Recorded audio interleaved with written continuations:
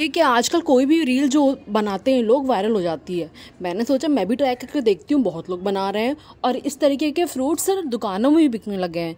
मतलब fruit ice cream. तो जिसके लिए मैंने क्या ले लिया है गाइस एक मैंगो लिया है। उसका ऊपर का सिरा ऐसे काटा है कि वो ढक्कन का काम करे।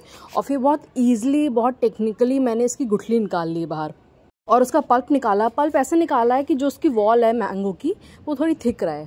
और फिर मैंने उस पल्प को ग्राइंडर में साथ ही साथ उसके दूध, क्रीम आइसक्रीम शुगर जो जो आप डाल सकते हैं कि थिक हो जाए, वो डाल के आप अच्छे से ग्राइंड कर लीजिए और फिर इसके अंदर मैंगो के अंदर डाल दीजिए। और जो ढक्कन हमने ऊपर काटा था ना मैंगो का ही ऊपर वाला पार्ट उसको रख के फ्रीज़र में डाल दीजिए कम से कम पाँच से छः घंटे के लिए।